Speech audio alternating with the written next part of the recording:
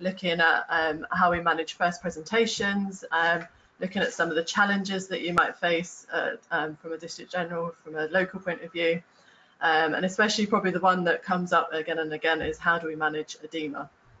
And if we've got time and uh, you haven't all left, we can do a case study at the end. Hopefully we'll try and do some interaction. Um, so just looking at, first of all is how do we actually define nephrotic syndrome? So if I give you quick 20 seconds just to quickly, um, how do we actually, what is nephrotic syndrome? What are the three things we have to have to define something as someone as having nephrotic syndrome?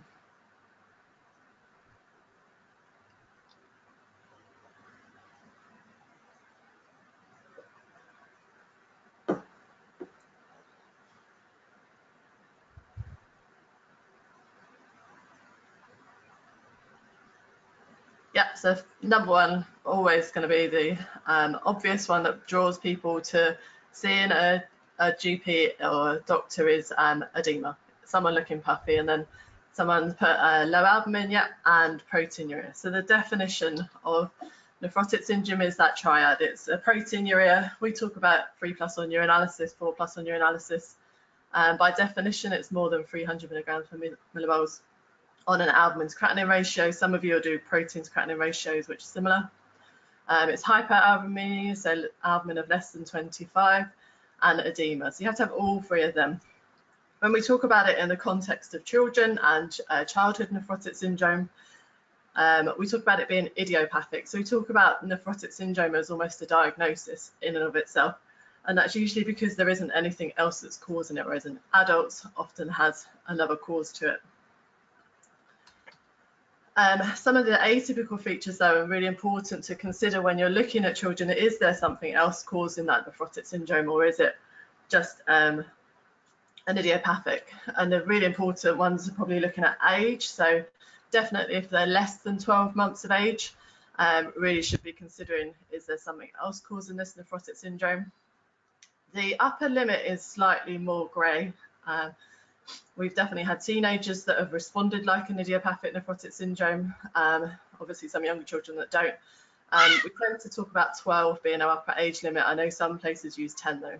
Uh, other atypical features, definitely macroscopic hematuria. There shouldn't be any children uh, children presenting with, of um, large amounts of blood in their urine it is quite typical to find microscopic um, so looking at um, plus, two plus, and sometimes three plus of blood on dipstick, that can be quite normal in nephrotic syndrome.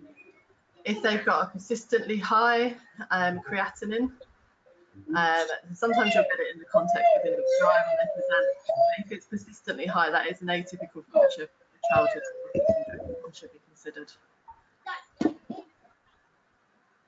Um, if they're hypertensive, um, hypertension is one of those difficult to manage, difficult to um, confirm, but definitely if they're above their 95th percentile on more than one occasion, so not just the one-off, but if it's persistently hypertensive, and that's usually before you start. Can I just ask if you can mute your um, microphone, thank you. Um, if there's a slow onset of disease, so we'll talk about a typical presentation, but if there's been a long history and perhaps it's been picked up not because they presented because they're edematous, but perhaps they're, um, that borderline serum albumin, low serum albumin is picked up on a blood test that's done for another reason. Um, if they've got lower ranges of proteinuria, so it is 3 plus, but perhaps lower end or even the 2 plus to 3 plus. So just they've got a long history of um, being edematous, they've had puffy eyes, and parents say, but they've had puffy eyes for months sometimes.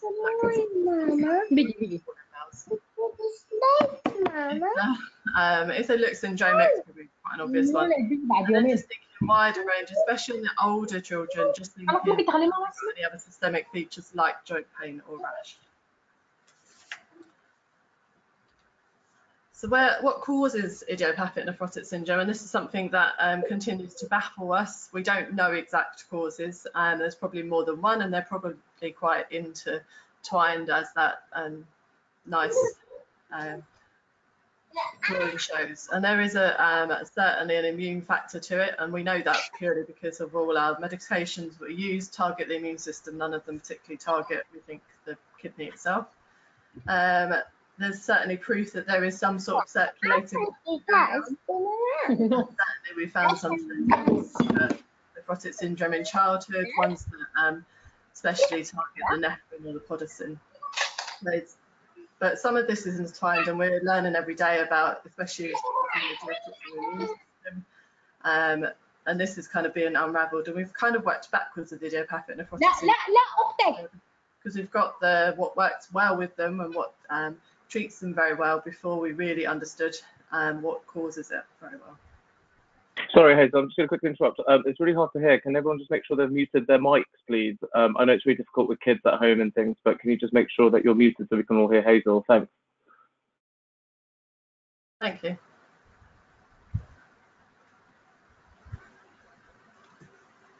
So when we've got a child that's presenting with nephrotic syndrome, um, I just want you to have a quick think about what would your management goals be? What are we trying to achieve with this child that we've got in front of us? Um, We've ruled out all the atypical things. We've got a child with, with think is idiopathic nephrotic syndrome. What are our immediate management goals? What are our kind of longer term management goals?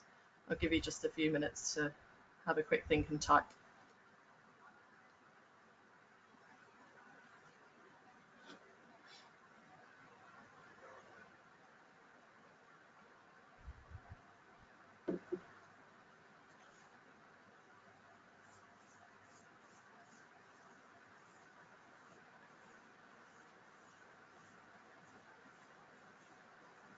It's like a test to see how well you can type quickly.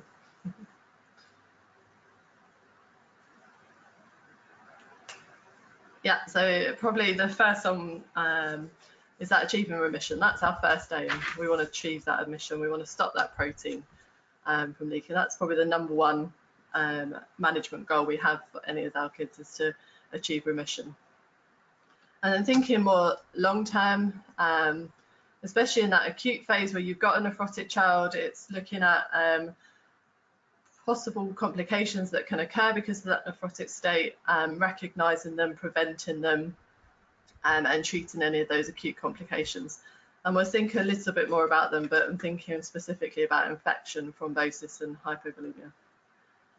Um, and then thinking more long term, um, and especially if the kids are using steroids for repeat re um, relapses, looking at avoiding long-term complications of steroid use.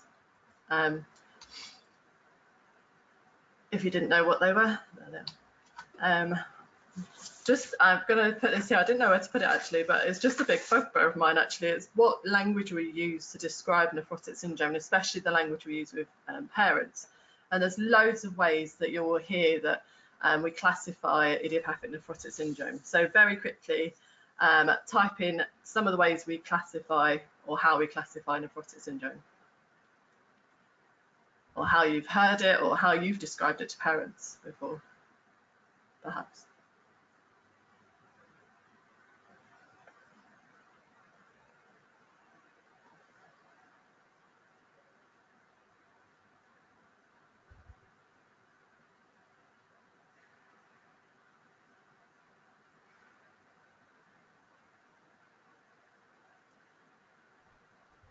Yeah, actually, um, the first one you've all um, come to is uh, the steroid. By response to steroid, it's probably our most classical one now. Is um, we describe it in terms of being steroid uh, steroid sensitive or steroid resistant if they're not um, responding at all, or even dependent where they do respond to prednisolone but can't come off prednisolone.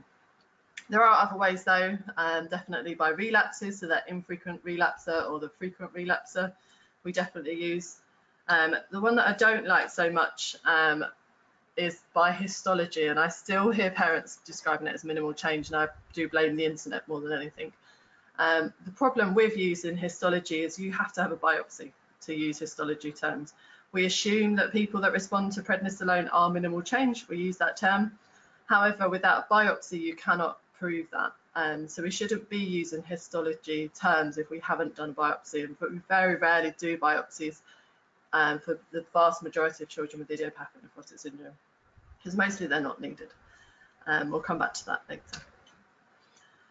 So, got child, they're on their first presentation. We've gone through the typical, uh, actually, the typical features of presentation. I think it might take too long to try and do this on chat. Um, we've gone through some of the atypical ones, but the very typical story I hear from parents is that um, they've noticed a bit of puffy eyes, and very typically they've gone to the GP first. The GP has said it's allergies. Um, they get sent away with Piriton. The Piriton doesn't help. They go back.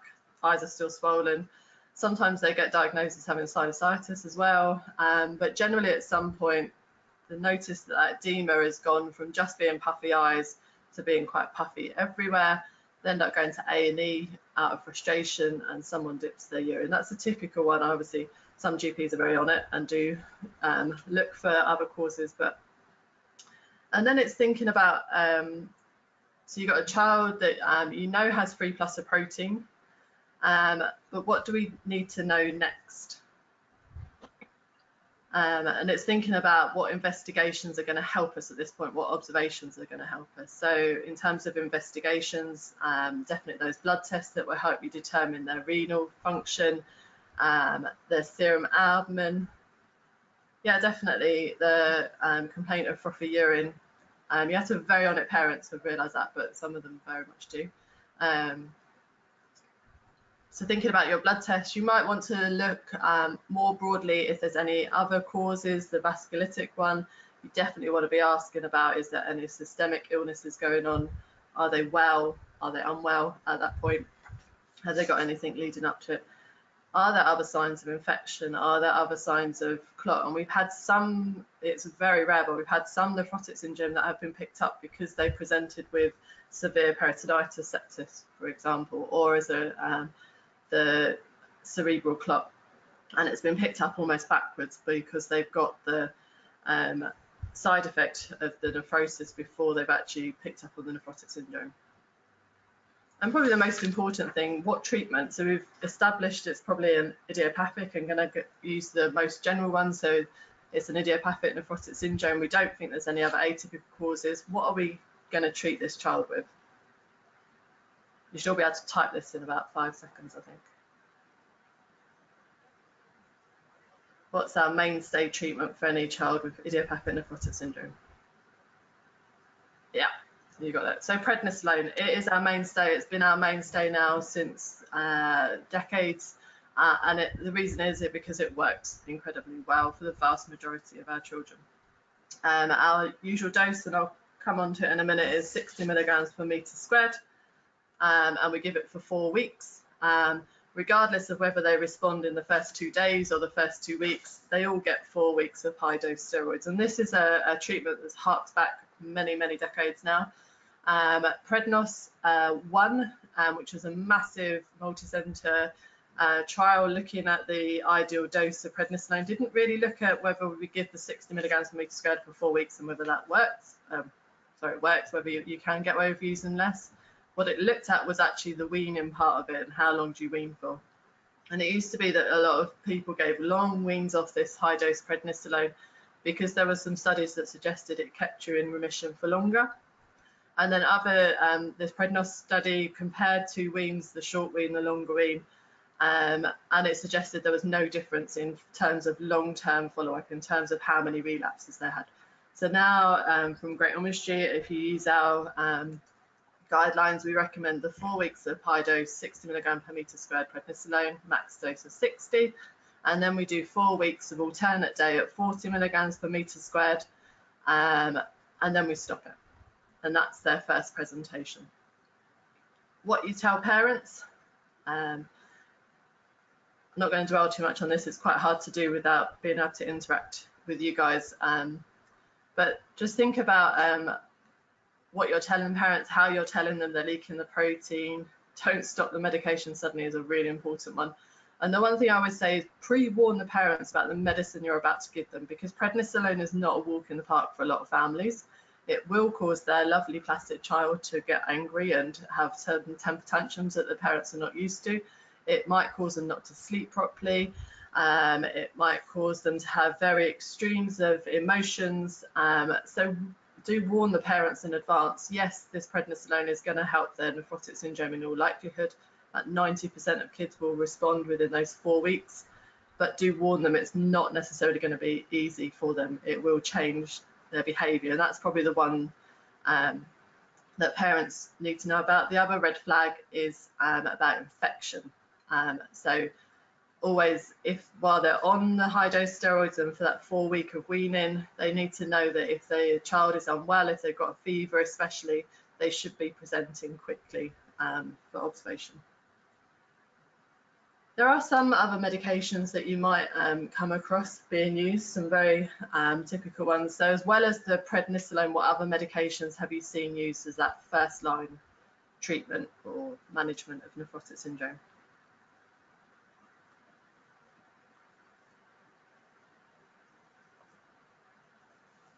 Not necessarily as a first line, I don't think cyclosporine.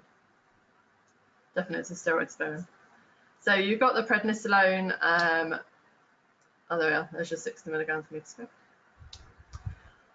Um, so I'm thinking more antibiotics. So usually if I do this presentation, someone says, what about antibiotics? And anyone that's used our guidelines will notice that it's not in our guidelines anymore um, for various reasons. One, um, being the evidence behind giving it is quite poor.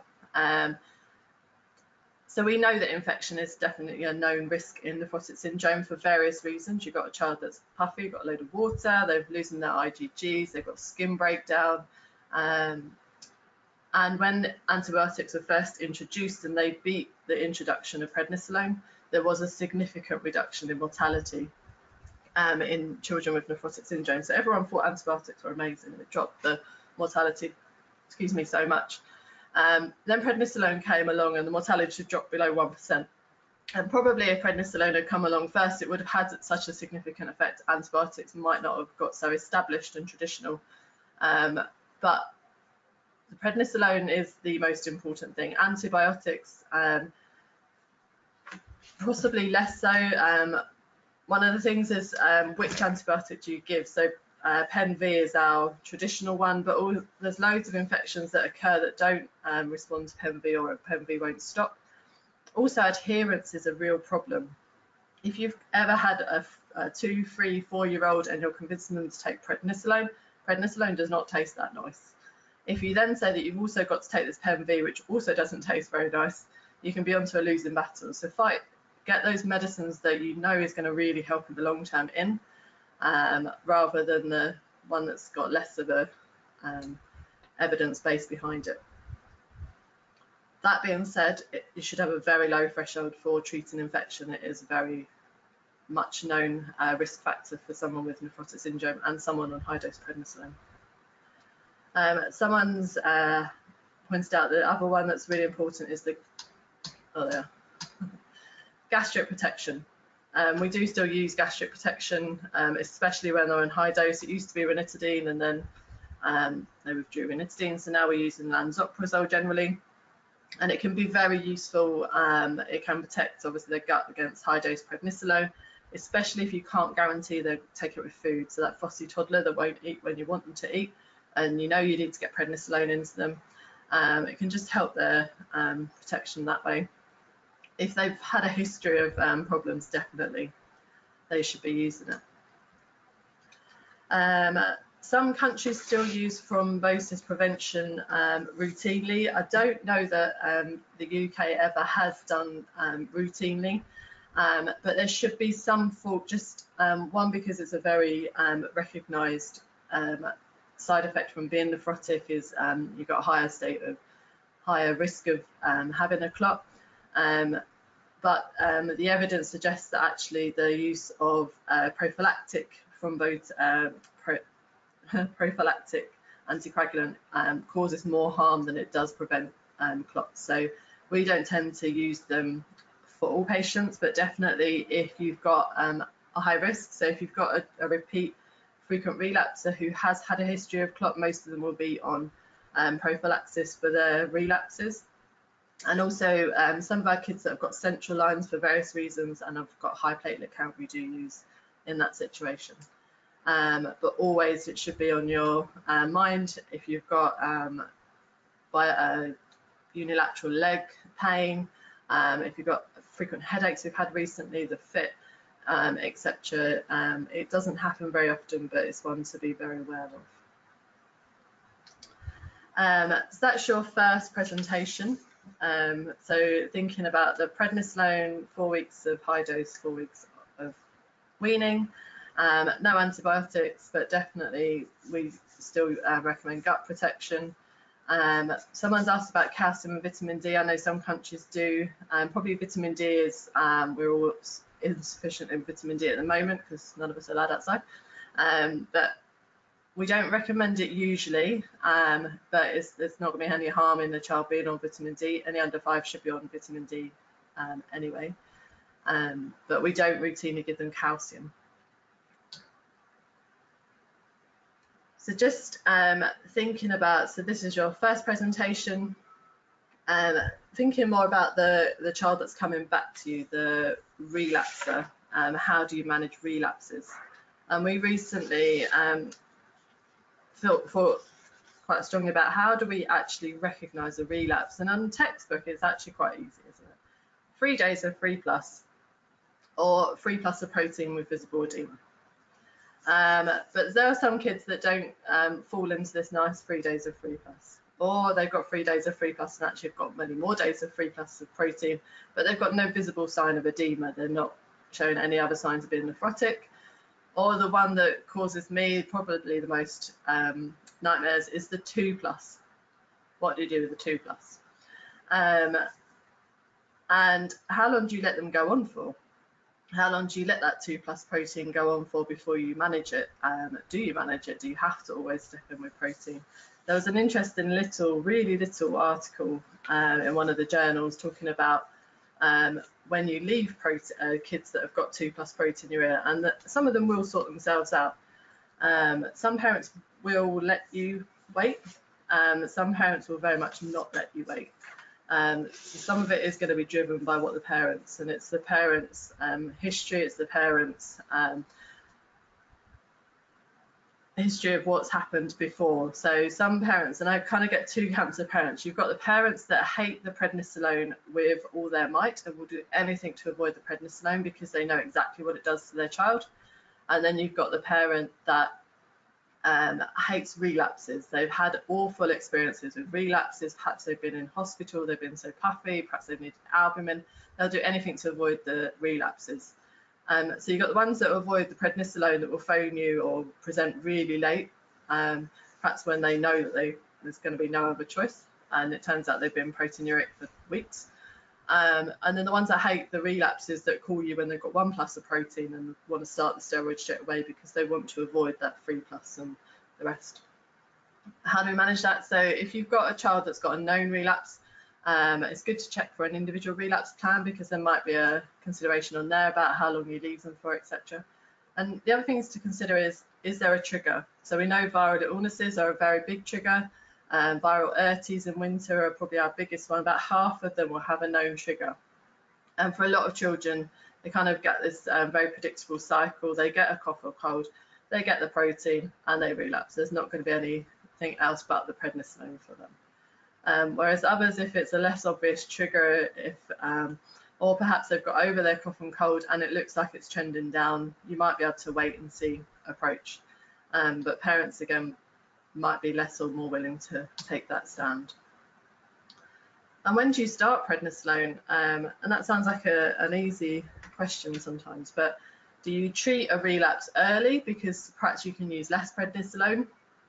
Um, but if you treat too early, you actually give them unnecessary prednisolone? If you waited the two, three, four days, will it have sorted itself out? Um, always think about their previous response to prednisolone and that's an important one because if they are really quick to respond to prednisolone perhaps it is safe to wait a few more days if they take forever to respond to prednisolone in the past it might be better to get in there before they become puffy but as i say parental choice will come into that a little bit so we now have two um, plans for relapses um, one of them is 30 milligram per meter squared day, per day uh, treatment, so maximum dose of 30, so basically half of what we'd normally use. Um, and then the second one is the 60 milligrams um, per meter squared. And the way we try and differentiate it, so I'm going between the screens, um, is to think about what that relapse is like. So if they are relapsing on paper, so they've got the protein, perhaps if you did a blood test, although you don't always need to do one, um, their albumin's dropped a little bit, but they're actually, they've got very little edema, they're very well with it, they've got an obvious trigger, so they've got a cough or cold going on, um, or they've had it in the past and they've responded very well to it. These are the ones we use the um, 30 milligram per meter squared per day on, and then it as necessary. If they are unwell though, and especially if they're already puffy, if they've already got edema, um, the argument would be to use 60 milligrams um, straight away. And that's because once you're edematous on the outside, um, chances are your gut could be quite edematous and the, their response to prednisolone will be slowed by that delayed gastric um, absorption of prednisolone. So um, if they are already edematous, if they're unwell, the prednisolone, the higher dose of prednisolone is likely to work quicker and get you out of that um, cycle of edema, etc. So they're the ones that we would spare. We would go straight to the 60.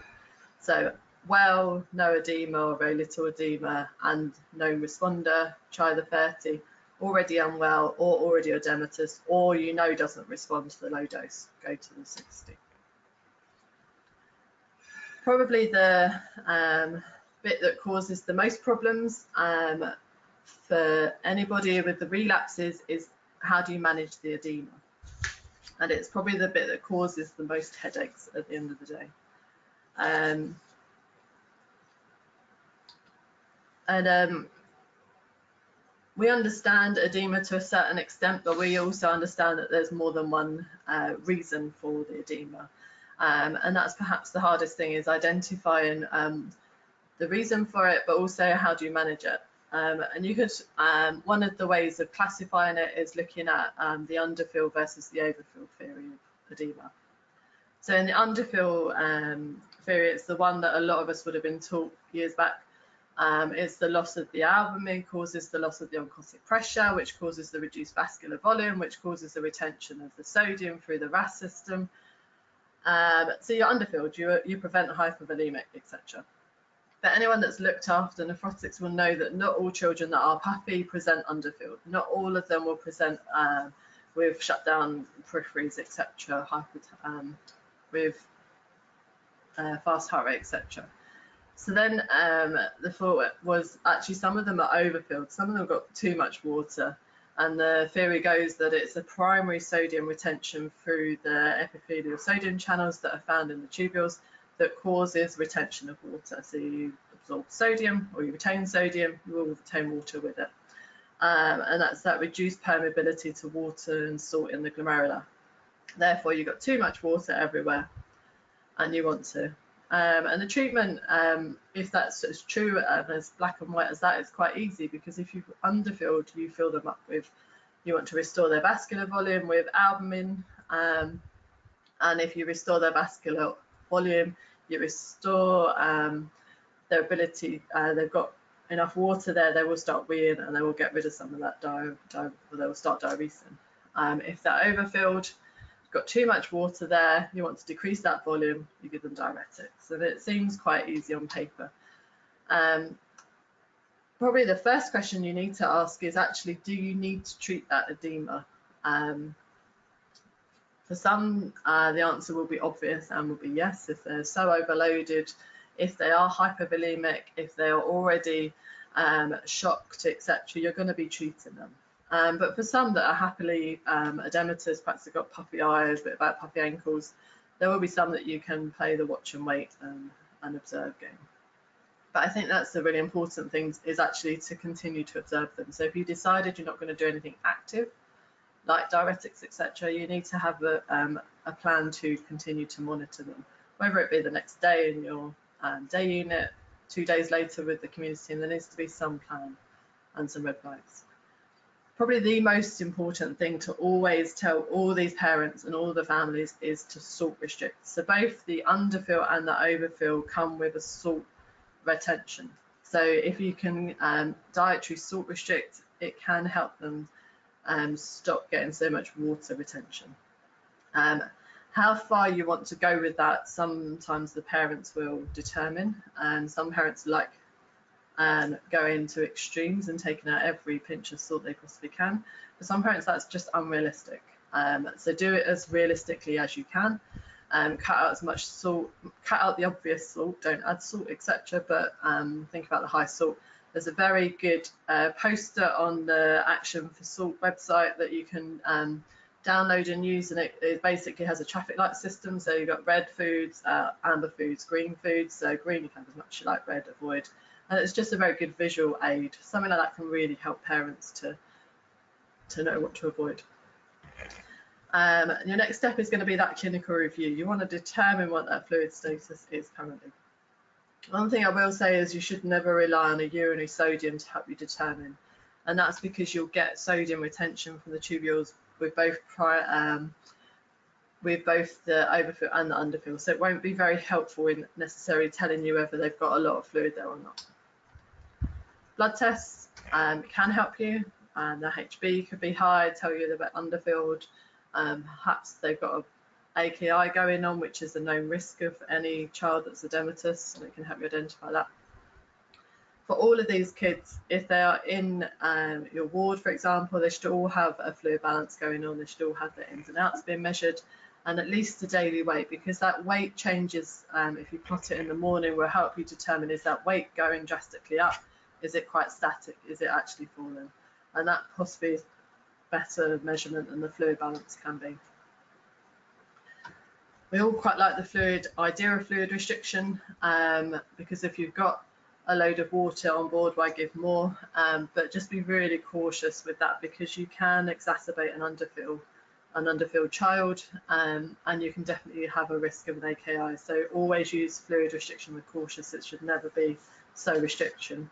And also once the first thing they would do when they're starting to come out of a relapse before even the dipstick changes is they will start diuresing. Um, and that's the time you really don't want them um, to be on a fluid restriction. So always um, check, always be cautious with the fluid restriction.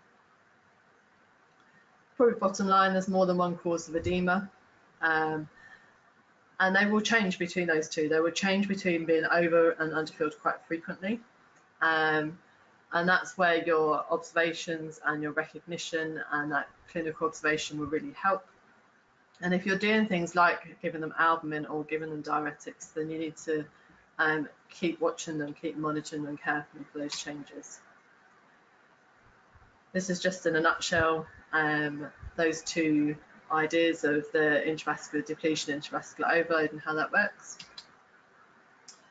you all probably can tell me all this already, so I won't dwell on it, but just looking at um, the different um, signs on clinical signs that you might find for the overfilled and underfilled. This came up as a, an idea of trying to um, have a simple pathway, recognising that it's not usually quite as simple as this makes out. Um, but it's looking at once you've done your observations, um, if you've got um, a good peripherals um, cap refill time, and they're intravascularly replete, um, they will probably cope with diuretics fine.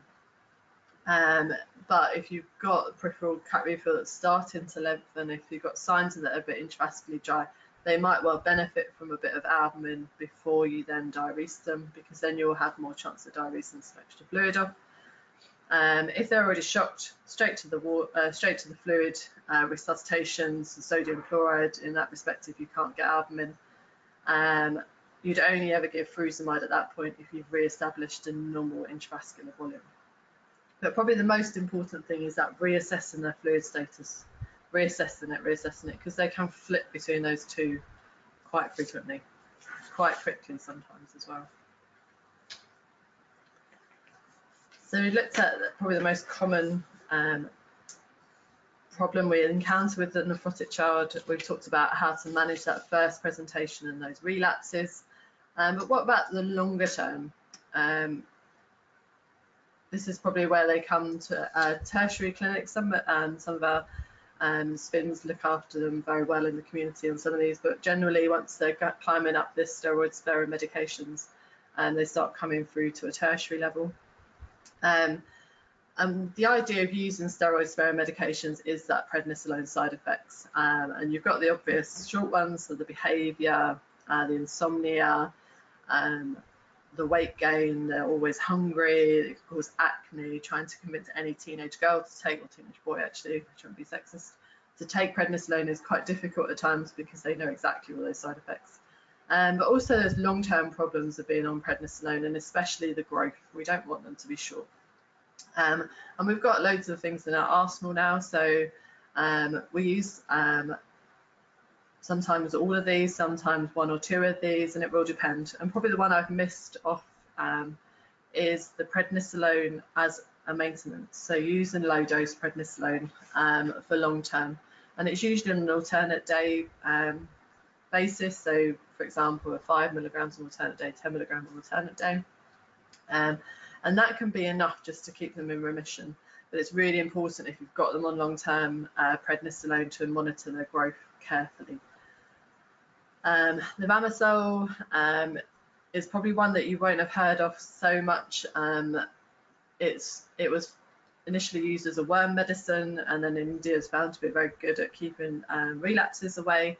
Um, it's probably um, useful because it's an immune modulator rather than a suppressor.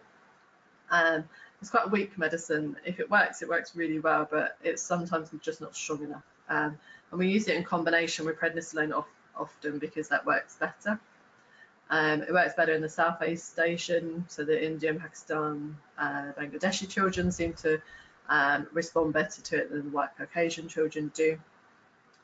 Um, if you've got a child though that is steroid dependent, if you've got a child that is relapsing on quite high doses of prednisolone, the levamisole is very unlikely to work, and that's where we go for cyclophosphamide as our first line.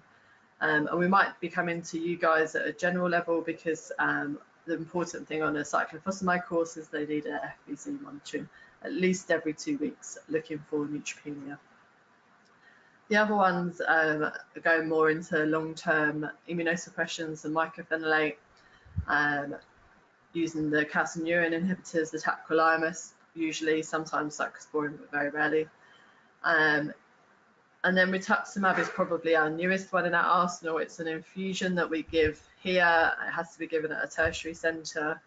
Um, and it's a new one. It's probably one of our most effective ones along with tacrolimus but there's rules against when and where we can use it. And then we use combinations. Those kids that are so uh, nephrotic that they relapse as soon as you try and take away some of those prednisolone, or they're relapsing on mycophenolate and combination with tacrolimus, or they failed rituximab. Some of them are on combination of all of them. So some of them can be highly immunosuppressed just to get some control of the nephrotic syndrome. I said I'd come back to the biopsy. Um, when do we biopsy? Um, anyone got any ideas of when we biopsy um, children with nephrotic syndrome? Or who we might want to biopsy?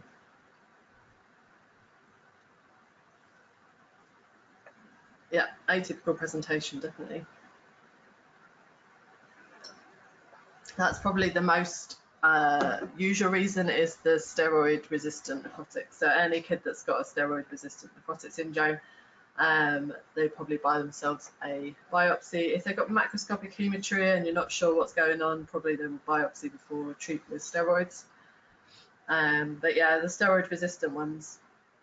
Um, the reason we don't biopsy now very much with the children that do respond to prednisolone is we recognise their response to prednisolone is more prognostic than the biopsy is the reason to biopsy is to look for that um, focal segmental glomerulosclerosis, the FSGS, or looking for other causes of that nephrotic syndrome that might not be so obvious. So we had a, um, a child that did actually respond initially to prednisolone, um, but then the response kind of got less and less obvious over time. Um, when we biopsied him in the end, he actually had what looked like a lupus type um, vascular um, changes going on which completely changed our management, obviously, but it's quite a rare one. One of the reasons is it's not very prognostic. So we've got children with FSGS, um, so obvious scarring on biopsy that will respond to steroids or have responded to other medications like tacrolimus. Um, we've got children that on biopsy have minimal change, so they haven't found any scarred lesions, but they still haven't responded to anything. Um, just to address some of the others that are being suggested, we don't tend to biopsy if they're starting steroid sparing agents, but we sometimes do um, if they've been on long-term CNI and we can't get them off it. Um, if they've got a genetic cause, we wouldn't biopsy if we've got a known genetic cause because it doesn't add anything to it. Um, if they present early before the age of one, potentially we could do, um, nowadays we're more likely to send off their genetics and try steroid depending on their age, um, but we'd wait for a genetic result before biopsying generally. Um, the younger you are, the more likely you are to have a genetic. So if you're less than three months and you've got a congenital nephrotic syndrome, um, you've got 90% chance of having a known genetic. And they, we very, very rarely biopsy anyone, any congenital now between the three and the 12 month, uh, so the infantile nephrotic syndrome, um, slightly more grey area. Um, the closer you are to the three month, uh, the more likely you are to have the genetic. The closer you are to one, the more likely you are to respond to prednisolone and not have a genetic cause. So does depend on age, and we might try um, prednisolone if they're say 10 month, or 11 month old, um, rather than biopsying. But it will depend on other other features as well, if there's any other atypical features, for example.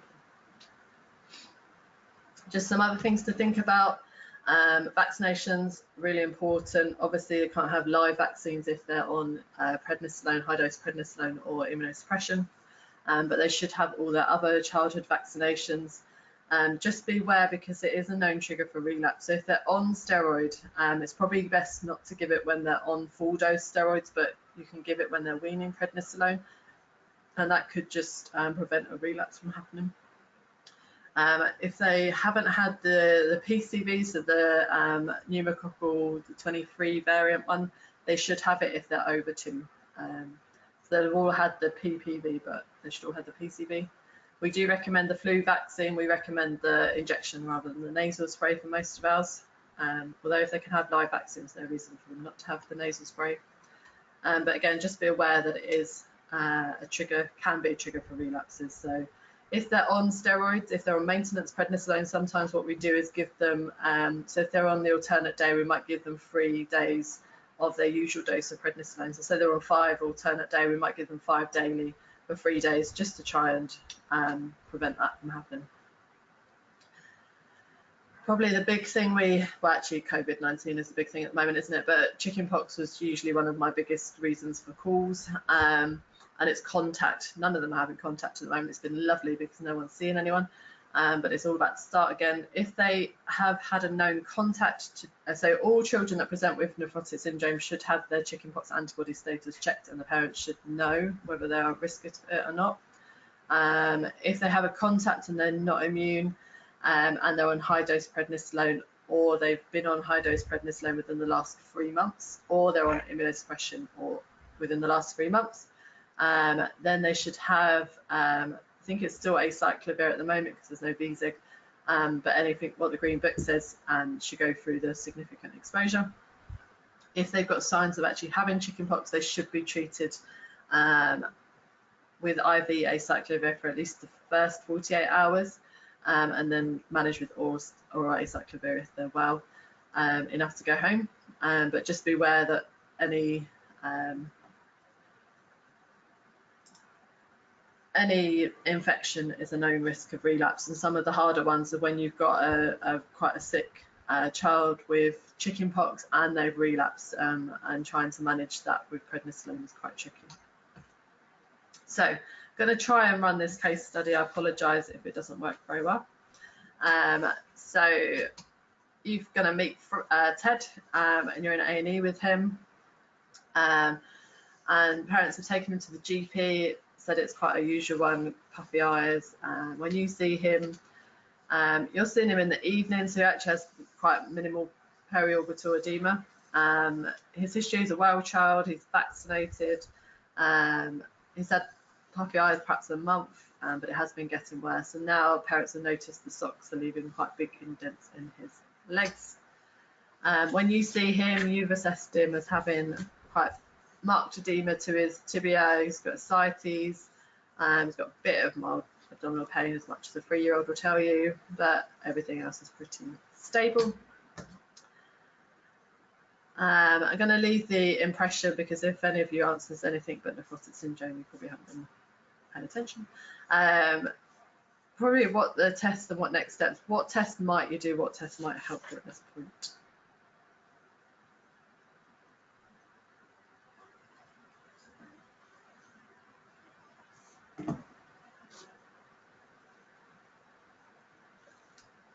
Urine dip, definitely. It's going to roll in, roll out the nephrotic syndrome straight away. Um, U&E definitely will help you. You want to know what their renal function's doing. You want to know what their serum albumin is doing. Definitely, that will all help to drive that um, diagnosis, but also um, prove it's typical or not typical. Um, rule out infection, definitely. You want to know they're not sick before you start on steroids. Yeah, definitely want to check their chickenpox status. Electrolytes definitely, I'm not sure what KFT, but I'm going to guess kidney function test, which, yeah, you're going to know what their kidney function is like. Um, so these are what's coming back from what you've asked for. So 4 plus protein, 2 plus blood. Um, that's his U&E, so not too exciting. His, you'll almost always get a bit of a high urea going. Um, albumin of 19. Um, and his CRP is less than 2, which will help you rule out an infection. His urine sodium, because someone sent it was less than 10. Um, I'm going to skip the diagnosis and the cause, if any of you said nephrotic syndrome. Um, we've talked quite a lot about atypical features, but so treatment-wise, we're going to give him 60 milligrams squared or prednisolone, but I'm interested in what are you going to do with this child next. So he's in A&E, you've diagnosed him with idiopathic nephrotic syndrome. Um, I'm going to rule out any of the other atypical is a very typical age presentation. Um, what are you going to do with him though? Where's he going to go next from A&E? Seven o'clock at night time. What would you do with him?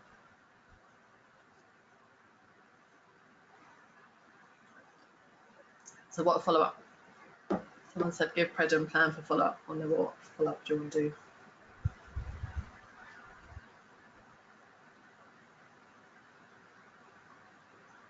Definitely daily urine dip. So you want to be teaching the parents how to do that um, daily urine dip. You want to tell them to do the first one in the morning, as much as you can get a three-year-old to do it first thing in the morning. And you want to um, give parents a chart, some sort of chart. There's one on Great Ormond Street you can download for them, make your own. Um, but you want the parents to be charting their results for you. So when you do look back, you can see exactly how their response has been. A weight would be very helpful, definitely. Blood pressure, probably skipped over that bit. Um, probably evening one, I would say admit them. Um, you've got a three-year-old that you're about to start prednisolone. It's a well child, might not have had medication. You might just want to get a feel for them. If you're not going to admit them, at least plan for them coming back for a few days. So you can see them, you can eyeball them, you can see that they're taking the prednisolone, they're coping with that prednisolone that the adherence is there, that parents are coping with dipping their urine.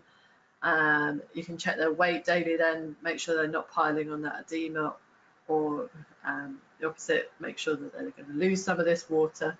Um, so if you're not admitting, have a very good follow-up plan. Some places use their community nurse, they use the community nurses, have a very good community nurse service that can uh, provide that in their own home. Some haven't got that resource, so um, we'll bring them back to their own day units, etc. But if you're not going to admit them, have a very good follow-up plan. And that goes for this new diagnosis and it goes for following up relapses as well.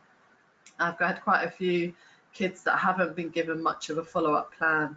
Um, when, uh, when do you want to see them again? Always plan to see them again because you can always phone and say, look, you've gone into remission and don't need to be seen. But have some sort of follow-up plan to make sure that um, they're going into remission or and also that they're not getting so edematous that you need to do something about it.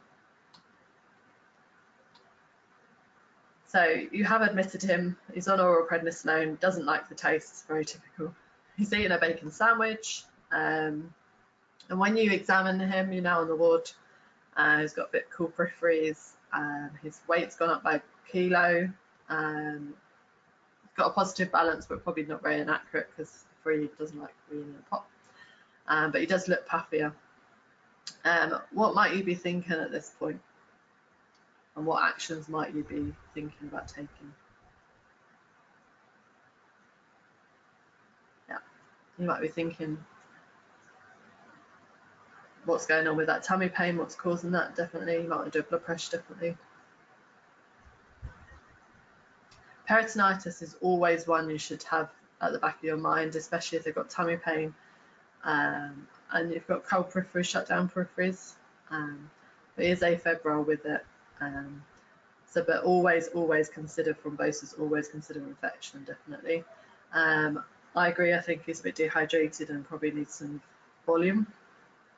Um, and discussion around IV albumin might help, might consider, might bring that intravascular volume back up. Um, so you have given him some fluid, you gave him some albumin, um, and you go back to see him the next morning, and he's not slept very well, he's quite grumpy. Um, but when you examine, he's got nice warm peripheries, his cap refill is less than two, his weight is still going up though, his blood pressure is quite generous for a three-year-old, um, and he's obviously still puffy, still got a high protein, no one's done any bloods because nobody asked for any. Um, what might you be considering now? Yeah, I never actually thought of that. You've got a grumpy child. Um, is there actually something going on in their brain? Always think thrombosis, definitely. You might want to discuss it with a tertiary centre. If you discuss it with a tertiary centre, have a good, um, have all this information, but also have their fluid balance and their weight. Um, it's really helpful to know that um, before.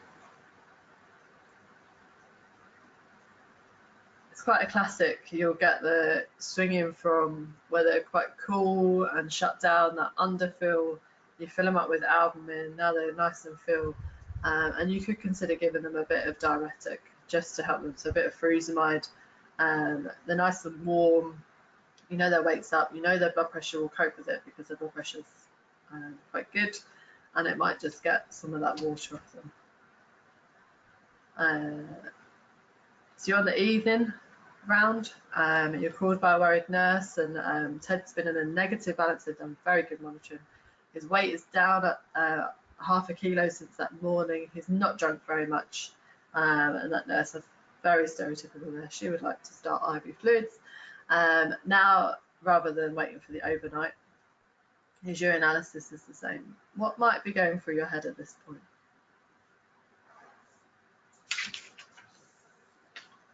You might want to go and examine.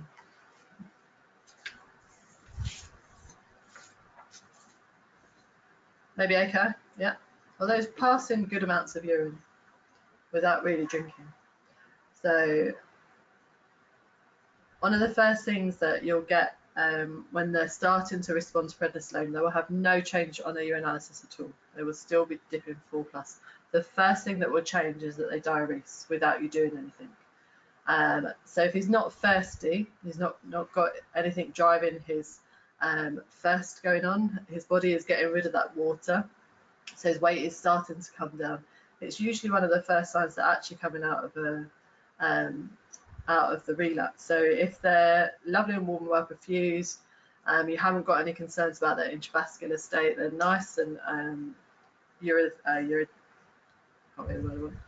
euvolemic. Um, it could well be that he's just starting to respond to the prednisolone, and some do respond that quickly. I wouldn't start IV fluids anyway. You always get him to drink. Um, just a quick sideline, if you did need to use IV fluids and you've got a nephrotic who's in a relapse, what kind of fluids would you use or would you perhaps avoid?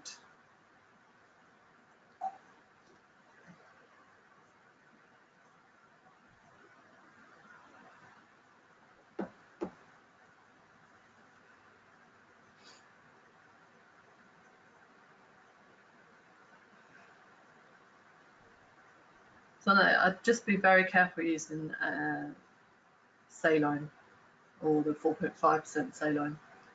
Um, if you've got it, you could use, uh, you can use albumin, 4.5% albumin as um, IV fluids. it is fine to use it. Um, you can just use glucose, but if you've got someone on high dose steroids, probably not a good thing. So I would always say um, use oral fluids if you can. But yeah, it's always just be aware of what fluid you're using, how much salt you're giving them. So Ted is in remission. I just wanted to point out, I'm not suggesting that he has to be an inpatient until he goes into remission, um, but he's been discharged. He's gone very quickly. Um, so you all know what happens with the prednisolone, hopefully now. You carry on with that for the four weeks anyway. Um, but again, thinking about what follow-up arrangements you need, um, have that follow-up plan in place, let the parents know who they should be talking to and when. Um, so you've got a negative urine, when do you want to hear um, if that urine changes? Um, what red flags do you want to give them in terms of infection, uh, perhaps chickenpox, uh, perhaps going back to school, um, when can they go back to nursery, um, and think about what parents need to be able to do at home. So giving them medications, um, not stopping them abruptly, um, talking to you if they're really struggling giving medications, um, dipping their urine, how to read that dip. So dip it in, out really fast, wait for a minute, whatever it is, um, before they read it. Um, that will help and make sure they're writing it down as well so that they've got the records they get used to making those records because they're very helpful in long term just quickly just to finish off this is nine months later he's in A&E um, his check mum's been checking the urine it's still four plus but it was she'd only checked it that morning. Last week it was negative. He had a relapse two months ago and he's just come off the prednisolone from that wean three days. Um, he's a bit edematous but he's clinically well. Um, just thinking about the long term, does that change how you classify his nephrotic syndrome? Um, and what are the, Uh-huh, how would you manage this?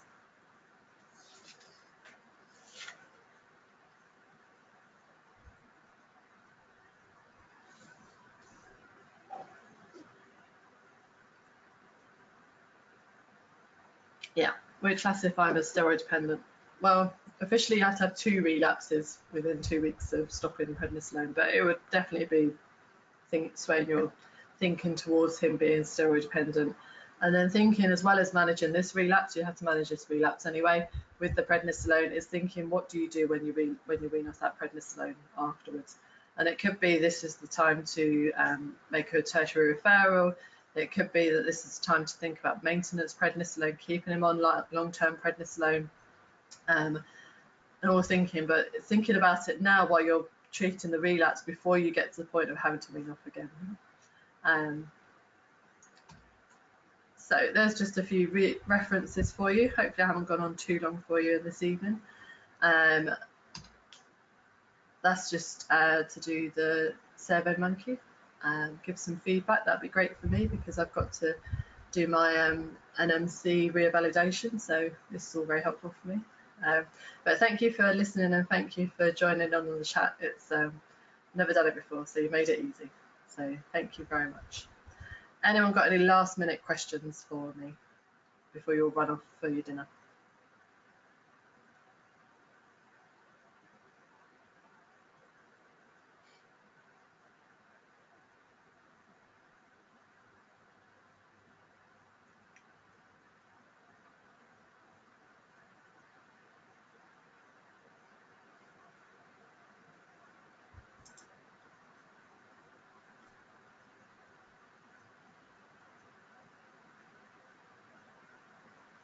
Thank you.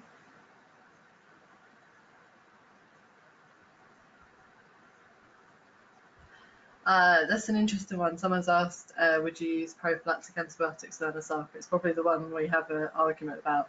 Um, I would still, um, if you've got a steroid dependent child or steroid sensitive child, sorry, that you can use prednisolone for, uh, I wouldn't necessarily jump to the antibiotics unless you've got other reason to think about it, but I would have a very, very low threshold for starting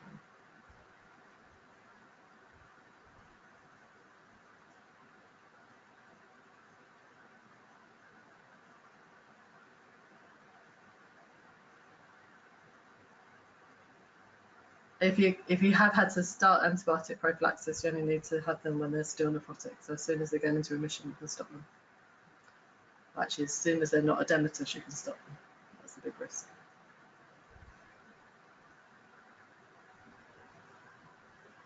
You're welcome. Use of albumin infusions with furosemide is a, a talk all by itself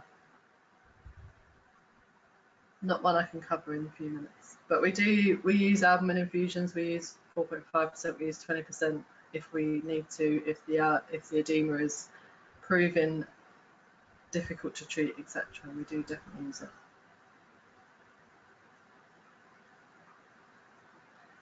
But we tend to only use 20% albumin in a tertiary centre because of the monitoring we would request for it.